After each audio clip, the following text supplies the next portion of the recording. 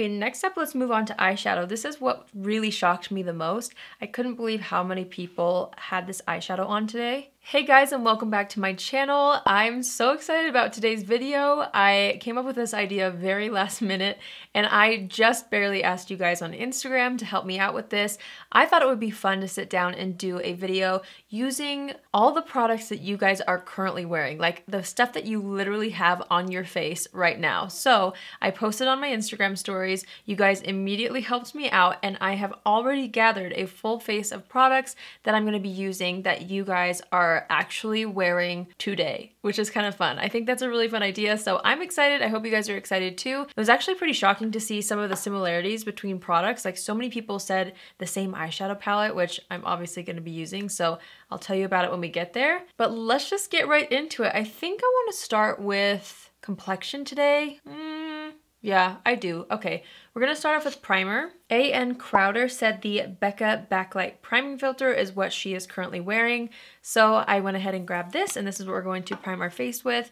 I love this stuff. It's been in my collection for a long time and then I recently repurchased it after running out and not using it for a really long time and ever since I repurchased it, it's been in my routine pretty consistently. So I'm just gonna go ahead and apply this all over the face using my fingers. It just gives the prettiest lit from within kind of a glow with zero sparkle, zero glitter. It just makes your skin look super healthy. And I feel like makeup sits on top of it really nicely. So I'm just gonna go ahead and blend that out. And then I can kind of feel the product sink into the skin. I just realized that I have some makeup swatched on my hand it kind of stained my hands, so just ignore that. Okay, so my skin is nice and glowy. For foundation, I'm actually shocked at how many people said this foundation as well. Lissa Jean 1202 said that she is currently wearing the L'Oreal Infallible 24 Hour Fresh Wear Foundation. She was not the only one that submitted this. There were probably like six of you guys and I just recently posted the story so I'm sure over the next 24 hours that my story is live there will probably be even more of you guys that say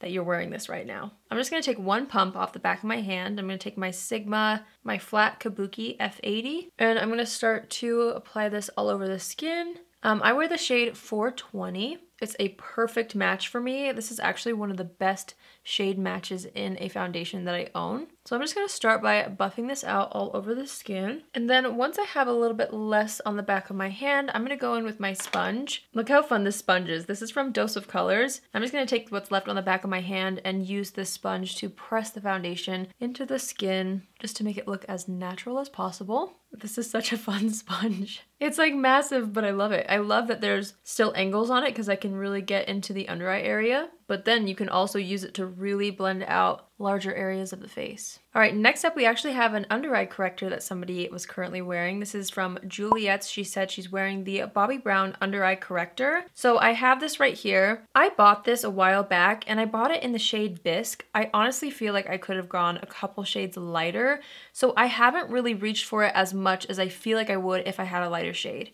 But with that being said, I'm going to use it anyway since it was one of the suggested products. I'm just going to take this on my ring finger and I'm going to press this into the under eye area just to brighten it up. And obviously you can see that it really does brighten up the eye, but the thing is it doesn't really blend into my skin tone the way that one of the lighter shades probably would. In the viewfinder it looks fine. In person you can see that dark peachy undertone, but you can see how well that works. I mean, you probably wouldn't even have to wear a concealer over top if you didn't want to, but it is meant to be layered underneath concealer. So I'm just gonna do the same thing on the other eye. I'm also gonna make sure to apply some in this inner portion here. I feel like a lot of us get a little bit of discoloration right here. So I'm gonna make sure to cancel that out. While I'm at it, I'm just gonna take a bit of that and apply it around the nose too. Okay, so we have our corrector on. For concealer, Paris Gipple said the Jouer concealer. She says, I'm telling you girl, best ever. So I actually have this. this. I'm hoping this is the one she's talking about. This is the Essential High Coverage Liquid Concealer. I know they recently launched another concealer, so I'm hoping this is the one that she was referring to. I bought this a while ago and I've only used it a couple times, honestly. So I was excited to see that somebody was so passionate about it because because I really wanted to give it another go. So I'm gonna go ahead and apply that underneath the eyes. Let's do a bit down the center of the face as well. By the way, I have the shade Custard. Which is pretty close to my skin tone, so I am going to use it both under the eyes and over blemishes. You guys probably know that I usually try to purchase two different shades of concealer, one that's a little bit brighter for under the eyes, and then another one that matches my skin tone exactly, but I only have one shade in this, and it does work for both. So I'm just going to take my Real Techniques concealer brush, or what is this called? I always forget. The Deluxe Crease Brush, but I use it as a concealer brush and I'm just gonna blend it out as best as I can with the brush first, then we'll go in with the sponge afterward just to press it into the skin a little more. Okay, so once that's pretty blended out, I'm just gonna take that sponge and press this into the skin. I'm just gonna take what's left on the concealer brush and buff that on the eyelid just to conceal the veins and discoloration there. Okay, so for bronzer, I have a couple that I wanted to use. Nicole Coneda, I hope I'm saying that right. She said the Fenty Cream Bronzer is what she's wearing. I recently received these in PR. I haven't had a chance to use them on camera yet, but I have been using them off camera, and I already really, really enjoy the formula, so I was excited to see that somebody else has been wearing them. And actually, she was not the only person that said the Fenty Cream Bronzers is what they are wearing. So, let's see. They sent me three shades. They sent me a contour shade, which is this one right here it's a little more cool toned. And then they sent me two of their actual bronzer shades. One is Butta Biscuit and one is Macchiato. So I think I'm gonna use just these two. I've been getting the most use out of these two right now with my skin tone. So I'm gonna first start off with Amber, which is again that contour shade. So I'm just gonna take that and start to press it underneath the cheekbones a little bit. And I'm using this one more for the structure of the face more than like actual warmth. So I'm just gonna take this down the sides of the nose as well underneath the nose. I'm gonna do under the lip. And also right here on the sides of the temples, I just feel like that helps shape out the cheekbones a little bit more. Okay, so that's pretty subtle, but that's what I want. I'm gonna go into the shade Butta Biscuit just with the same brush, honestly. I'm just being a little bit lazy today. I'm not gonna switch brushes. And I'm gonna go a little bit higher with this shade because it's a bit warmer. This is what I wanna use to really warm up the complexion. So this is also what I'm gonna use to warm up the forehead, right into the hairline a little bit. I'm also gonna stamp a bit of this across the nose, right over the bridge, just where the sun would naturally hit. And then I'm gonna go back into the amber shade, which was that more cool tone. And I'm gonna apply this right underneath the chin and down the center of the neck right here, just where that natural shadow would be. And then I'm gonna go back into the bronzer shade and just kind of add a little bit of warmth along the neck as well. And I'll put a little bit along the chest just to make sure that there's a nice cohesive flow with the color. Okay, so now that that's on, I'm just gonna take my flat kabuki brush and just kind of buff over the edges slightly. This just has the foundation that's left over on it, so I'm just gonna kind of buff that all over the skin, and then I'm gonna take my sponge one more time and just gently press everything into the skin, making sure that there's no harsh edges. But yeah, I've been using these quite a bit, and I have really, really loved them. I really like how subtle they look on the skin, so for example, the um, contour shade, the tone of it is something that could potentially look really unnatural, but because of the formula, I feel like you can't go wrong wrong. It's a nice sheer formula, which helps it look way more natural. So I've been really, really into these actually. I think they're so pretty.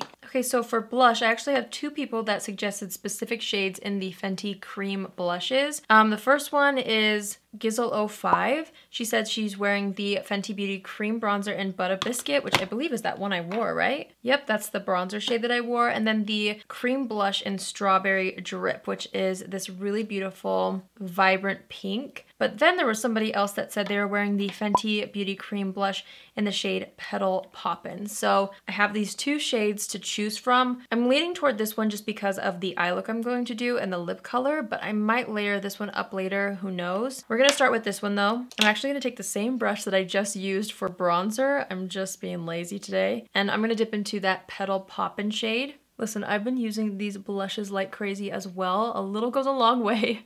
I definitely could have used a little bit less than this even, but I love the shade range. These were also sent to me. There's a shade that's like orange and gold that I've been using like crazy. I forget the name of it, but it's like the tangerine color. It's so pretty. I'm gonna go in with my sponge and just press around the edges and a little bit on top of the blush just to kind of tone it down a little bit. I was a little bit heavy handed, but that's okay. There we go. I think that's the prettiest color. I've been wearing this one a ton too.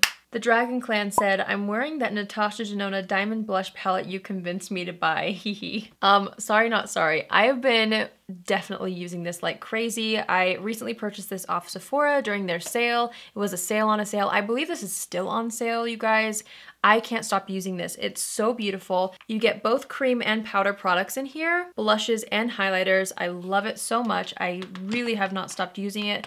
So I thought this would be a really pretty highlight to use. I'm gonna start with the cream base right here. I'm just gonna take my finger and I'm gonna press this on the high points of the face, just right over the blush. So on the cheekbones in a C shape around the temples. I'm gonna put a bit right here down the center of the nose, also the cupid's bow, and then I'm gonna mix these two shades. I've been loving to do this. I'm gonna take the Duo Glow and then the Glow Extreme, just on a fluffy brush. And I'm gonna just kind of dust that over top of that cream base. I'm obsessed with this duochrome one. It has a little bit of a pink shift to it. It just looks so pretty on the skin. I don't own anything like this. So we're going for it today. We're gonna be really, really glowy. I'm gonna take a smaller brush with the Glow Extreme shade and just go down the very center of the face. I don't really want too much pink necessarily down the center of the face. And then as always, I'm gonna take my sponge and just press over that as well. Okay, things are looking real dewy, but I like it. I'm gonna use a little bit of powder next. There are two different powders. Both were mentioned several times. Rachel Christina 1984 said that she's wearing the Wet n Wild Translucent Loose Setting Powder. I love this. And then BNW B-Ball said that the JH or Jaclyn Hill Mood Light powders in Dew Me and Brighten Up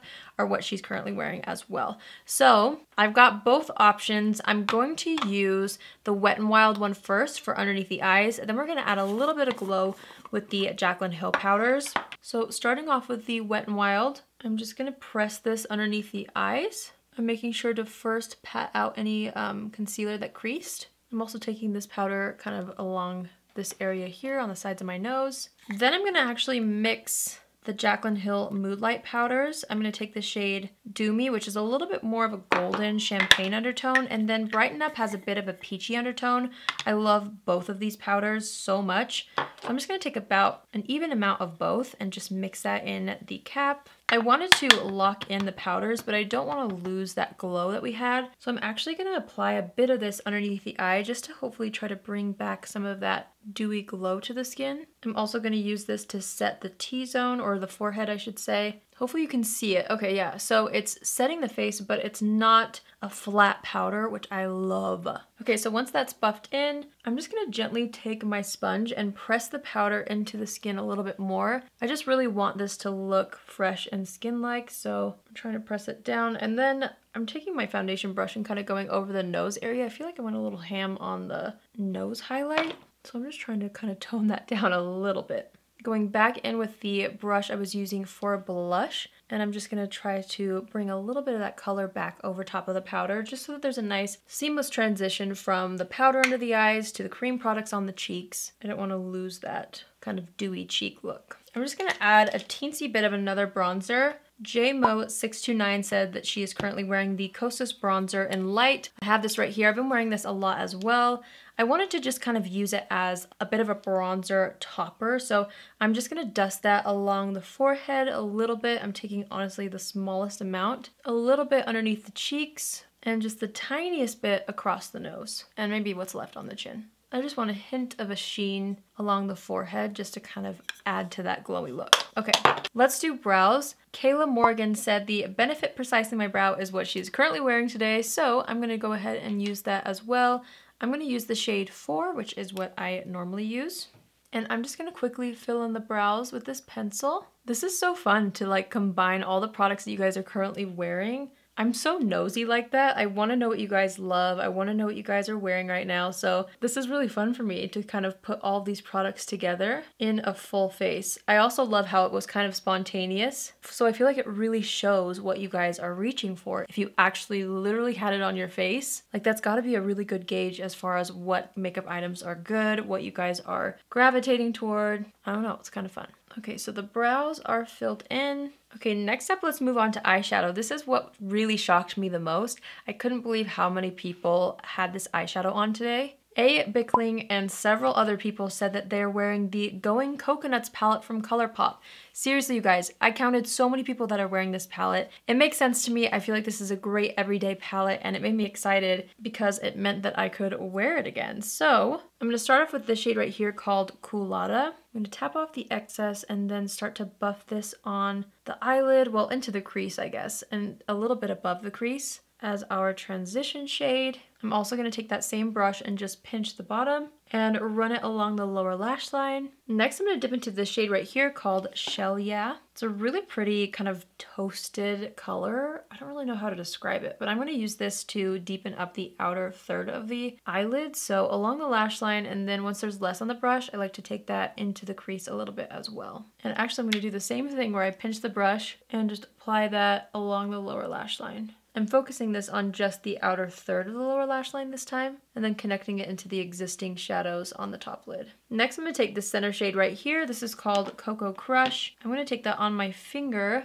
and I'm going to wear this all over the eyelid. So I'm just pressing that from the inner corner to about two-thirds of the way across the eye. This is such a gorgeous eyeshadow. I love it. Same thing over here on this eye. I'm to take a damp brush and dip into the same shimmer shade. And then I'm just going to make sure that there's not too much fallout by applying it on my hands first. And then I'm going to try to apply that same color along the lower lash line. I think that looks really pretty. I'm going to take that buffing brush that we were just using with that reddish shade and I'm going to go underneath the lower lash line just a little bit to create a bit more dimension there. Now, normally I would add more colors, but I actually really like how things look right now. So I'm just gonna leave it at that. So next we're gonna move on to mascara. Cali Girl Tiff said that she's currently wearing the Bambi Lash Mascara from L'Oreal. This is also another one of those products that was mentioned several times.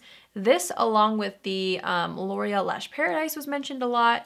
So I thought I would use this, obviously. I wanna wear what you guys are wearing. So I'm gonna go ahead and apply this to the top and bottom lashes. I forgot to mention when I was putting on foundation that there were also a lot of people that were wearing tinted moisturizers. I think some of the top ones were this one right here, the Bare Minerals Complexion Rescue. I saw a lot of people wearing the ColourPop tinted moisturizer. A lot of people were actually wearing the Bare Minerals Original Loose Powder Foundation it was so cool to read through all of your submissions and see what you guys reach for on an everyday basis. Okay, so I definitely got some mascara marks on the eyelids. I'm just gonna wait for that to dry. I am buffing away a little bit of eyeshadow fallout. There wasn't too much. It's mostly just like a little bit of that glitter in the shimmer shade that fell down onto the face, but we're looking so glowy, it's just blending in anyway. So while I wait for the mascara to dry, let's move on to lips. I'm gonna wipe off any foundation that got on the lips. And then Darth Lisa 1227 Lisa, is that supposed to mean like Darth Vader or something like that? Is that a Star Wars reference? Because Lisa, you don't look like a Darth anything. You look like a very nice person. Lisa is wearing the Natasha Denona I Need a Nude lipstick in the shade Yana. I've got it. So we're gonna go ahead and apply this all over the lips. This is a really pretty like beigey pink shade. So I'm just gonna apply it a bit of that initially and then I'm gonna take my finger and use that to blend it out. This is also kind of fun because